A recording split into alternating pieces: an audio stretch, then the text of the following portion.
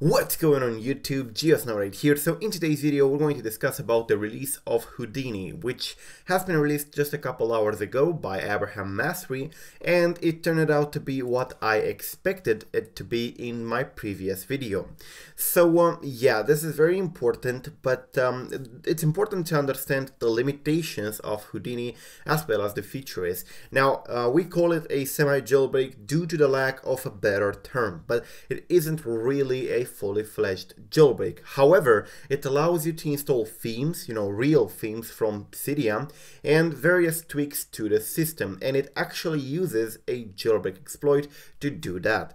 Well, um, it has been released as a beta. Some features are not working in the beta, so expect to be updated in uh, time. And it's compatible with um, iOS 10.x, you can see here, except iOS 10.3.3. So from iOS 10.0 to 10.3.2, any 64-bit device, that would be iPhone 7 and 7 Plus included apparently, because it doesn't say here it's not supported.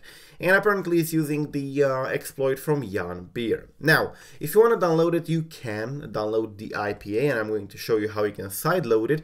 But Abraham Masri has also posted a video in which he shows what the tool actually does. So the tool looks like this. When you open it, um, it's going to say escaping sandbox. Unfortunately, I did not have a lot of success with this tool for the moment on my iPhone 5s. It would not uh, be able to escape the sandbox even if I tried like six times uh, in a row. So yeah, you might have a hard time getting this to work sometimes, depending on the device. It even says in there that it will take a couple times, so don't expect it to work from the first time. Keep on trying. Uh, you will get exploit failed, uh, and you will have to, to restart your phone. Anyways, after you get it working, apparently uh, you're going to see something like this. Let me try to show you. It's fetching packages, and then it shows like this. So Houdini itself is like a package manager. It is like a true Cydia alternative for non-jailbroken devices that lets you actually install or get some jailbreak functionality without having a full jailbreak. So pretty much allows the iOS 10.3.1, 10.3, 10.3.2 and 10.2.1 users to have the uh, good experience of a jailbreak or at least partial experience of a jailbreak without a real jailbreak being available. So uh, if you take a look, you can install various packages from various repos, uh, real Cydia repos, and uh, once you apply them, I'm going to show you, uh, once you apply them, you're going to be able to have them uh, right away installed. You can customize the passcode um, and the icons and so on, which is quite dope. So um, as you can see, this is pretty much the uh, effect of um, Houdini working in the background, you can see that the passcode field has an image now. So um, it's customized beyond what a normal uh, plus plus application can give you. Uh, and the phone is actually running a theme. So you can see the icons have been changed. So yeah, it's pretty interesting and uh, I find it really interesting in my opinion, especially since it doesn't use everything a normal jailbreak would use, but it doesn't have the uh, features a normal jailbreak jailbreak would. So let's see what it contains though. Uh, actually, Abraham Masri posted on Reddit Jailbreak a uh, full article in here with whatever it contains, what it is, how it works, and so on. And uh, he especially made it clear this is not jailbreak, this is not supposed to be a jailbreak, it's not going to be a jailbreak in the future, but it mimics and it gives you some jailbreak uh, features. So let's see what you can do with it. So you can, one, theme user installed apps, which is quite nice, hide or rename user installed application labels, add Cydia sources and install themes, clean all apps. Cache, change devices. Display resolution, uh, hide or rename 3D Touch icon shortcuts, edit Siri suggestions list, a theme passcode keypad, iOS 11 style or custom pictures, colorize and resize icon badges, theme control center icons and sliders, and theme lock screen music control icons. Now, about the um, theme control center icons and sliders, he actually did that in the video.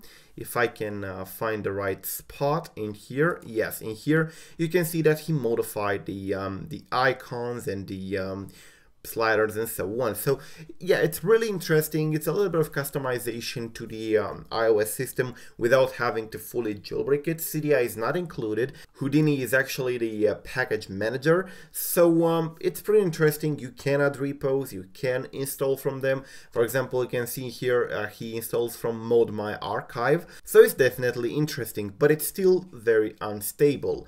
I have tried this on my iPhone 5S, as I said initially, and uh, it didn't work. It wouldn't be able to bypass the uh, sandbox, to escape the sandbox, and it would ask me to reboot the device several times. I tried like five or six times, then I simply gave up.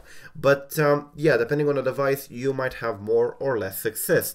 However, how you can install it then? Well, after you download the uh, IPA file, you need to download Cydia Impactor from the link below. Just connect the um, device and it will show up like this. Drag the IPA and drop it and you will be able to sign it normally as you sign any application. So let me do this. You have to sign in with your iTunes account or Apple ID. Okay. And it's going to be extracted and installed on your device. Now let me go to the device and show you what you will get. Okay, so I'm on the uh, device, this is my 5S, and you can see this is what installs, it's the Houdini application, and uh, once you open it, it's going to show like this, and you press start. Now I'm running iOS 10.1.1, because that's the only device that I have that is supported. Uh, I have another one that is actually on iOS 10.3.3, but iOS 10.3.3 is not supported as for now. So theoretically, you should press just start in here and it would start saying um, escaping sandbox. Now if it fails, it's going to tell you on the screen that the exploit has failed and uh, you need to reboot your device and try again. Now I'm not going to do that right away because it's going to cut out my recording, but that's pretty much how you do it. And if you get it working, you get it working. You can start adding tweaks and so on. Now, if I get this to work, I will make a uh, an in-depth tutorial on how to install packages and so on with Houdini, but uh, I will probably wait for a much more stable version to come out. And if I was you, I would pretty much stay away from Houdini, at least until it's a little bit more stable. It's not going to mess up anything, but it's still better to wait for, you know, a um, newer version so that everything would work normally. Now it says in here how to start, you press start, how to increase the chances. Well it says after reboot, wait for a minute then try. If your device gets hot, let it cool down. Yeah, so pretty much what he means in here is to let the device do its, um, you know, post booting processes um, before you start all this because you have more chances if the device is not doing something right away, right in that moment. So yeah, it will probably help if you close all applications that you have in the background by you know going in the application uh, switcher and closing everything and waiting a couple minutes. Make sure it's not connected to the computer because if it is, it's going to probably try to sync, which means additional daemons running in the background and so on. So that would help you increase your chances. But anyways, that's what it does. So yeah, that is Houdini. Uh, well, if you want to try it, you can download it from uh, the website. The link is in the description down below. Keep in mind, it says in here, some features might not work in the beta, so I definitely recommend waiting for a stable release before you try this out, even though it might not just uh, mess up everything, it would be a better idea to wait for a stable release. But yeah, if you want, you can download the beta and try it right away. Here are the instructions on how to install it. And if you want to donate to this uh, to this guy, just go ahead and do it. You have his links or Bitcoin address in here. So uh, yeah, that's pretty much it guys. This video has been brought to you by Dr.Fone, a Wondershare product that helps you recover your lost and erased data, transfer data between iOS and Android, repair various system issues, and even backup and erase your device if you want to give it away or to sell it. So check them out in the description down below. You have a free trial available and a $5 coupon if you want to purchase the program.